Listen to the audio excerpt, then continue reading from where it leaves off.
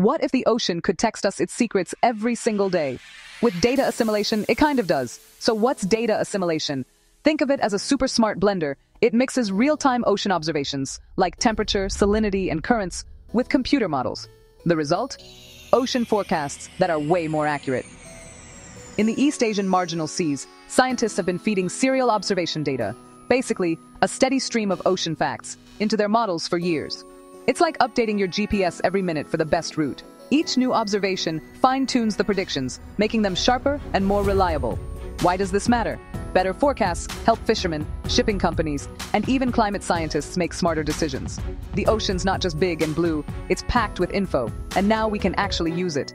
Here's a mind-blowing fact.